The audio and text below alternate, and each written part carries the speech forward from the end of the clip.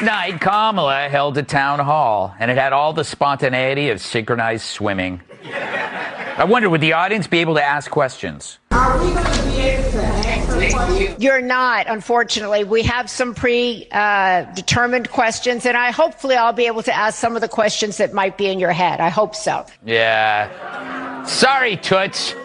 Sorry, Toots. You're just a prop. And come on, we didn't even give you a primary, and you think we're going to let you ask unscripted questions? Hell, Kamala can't even answer scripted questions we give her a week in advance.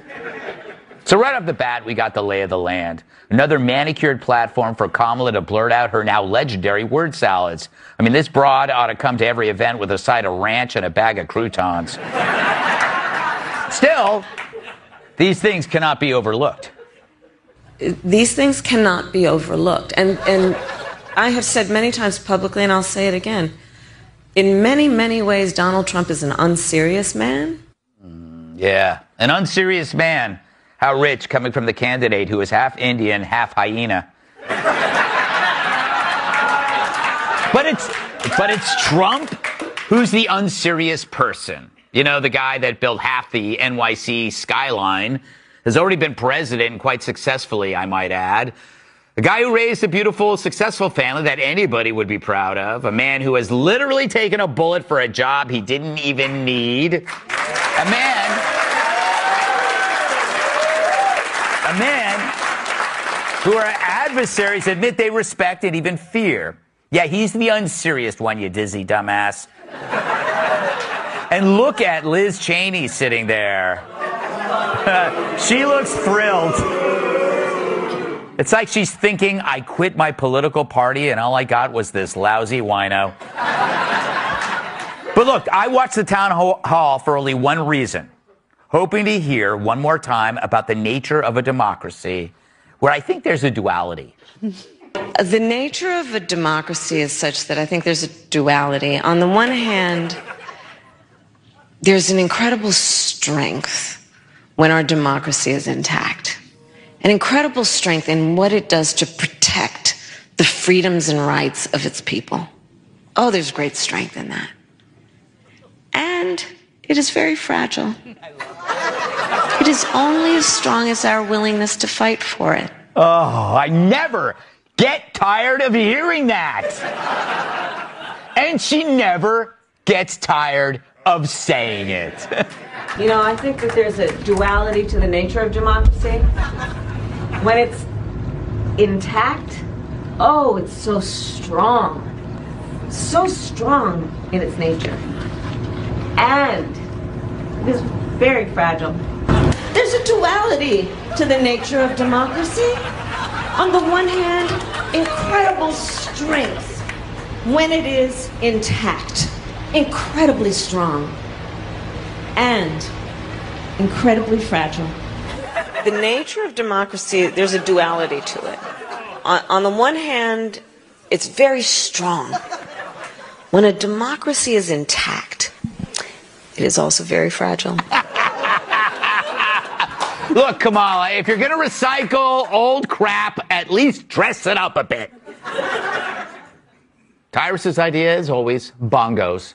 Uh, the nature of a democracy is such that I think there's a duality. On the one hand, there's an incredible strength when our democracy is intact, an incredible strength in what it does to protect the freedoms and rights of its people. Oh, there's great strength in that. And it is very fragile. It is only as strong as our willingness to fight for it. Yep. Now, to most people, she sounds stupid.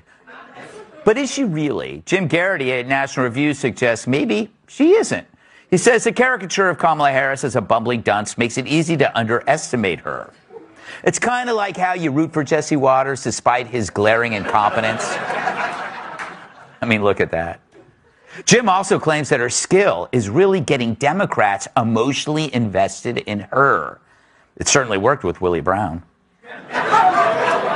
But that's more than a joke. It's a fact that getting Dems emotionally invested in her means she gets others to do the work she won't do, whether it's Willie Brown or willing Brown voters. See what I did there? I know. But I get what Jim's saying. Don't just say, wow, she's just a dummy, because even if you're right, no one's going to hear it. People do the same thing with Trump. They overlook his actual deeds and focus on his words. Take the latest Trump calling Democrat leaders the enemy from within.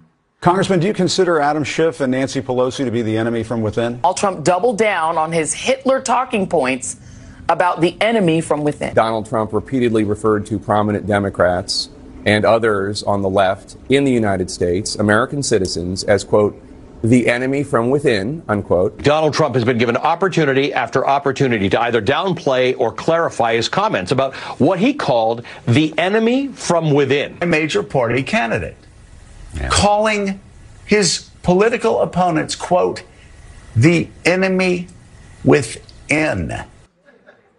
All that douchebag outrage. Even though even though Democrats not only said the same thing about enemies within, but they actually acted on it. Remember when these a-holes claimed there was extremism within our military? It was big news until the threat was debunked, then the story went away. Or what about the scourge of white privilege and systemic racism that labeled the majority of people, again, within the country as oppressors and in need of serious re-education that gave us a divided country, DEI, and a ton of terrible Disney movies? And don't ever forget what they did to anyone during the pandemic who dared to question their BS policies and their lies. So save your outrage. Trump calling Pelosi and Schiff the enemy within is peanuts compared to calling tens of millions of Americans the enemy from within. Hell, you even jailed a bunch of them while letting actual enemies from within, murderers, arsonists, and rapists, go free, which created a new demand on the American public. We now must be diligent all the time when we're on the streets, on public transportation, about what our kids are being taught in school, who's in our restrooms, who's coming into the country. It's a lot of pressure on us, and we're ready to blow. So that's why the town hall had to be orchestrated. You can't have ordinary people asking a phony candidate questions about the last four years. It had to be stage managed, just like it was the last four years. Because if you knew the truth, then you'd see the enemy within in all its glory, and you toss it out on its lion ass.